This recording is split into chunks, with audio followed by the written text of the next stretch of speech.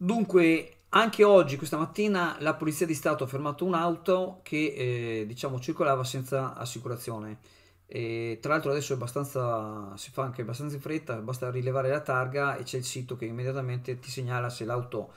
è con l'assicurazione scaduta e addirittura anche col, con l'auto scaduto. E per chi gira senza assicurazione c'è prevista una sanzione che va dagli 800 anche fino a 3.000 euro, poi dipende da varie situazioni, se è recidivo o non è recidivo.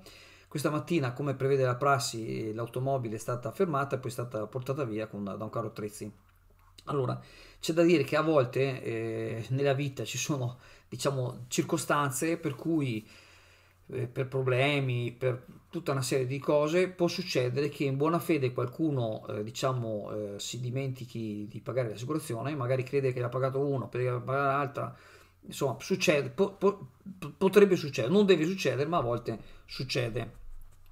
non c'è differenza tra chi gira eh, con la macchina senza assicurazione in buona fede e chi invece diciamo eh, gira sapendo ben consapevole che sta girando senza assicurazione. C'è una cosa da dire però, che chi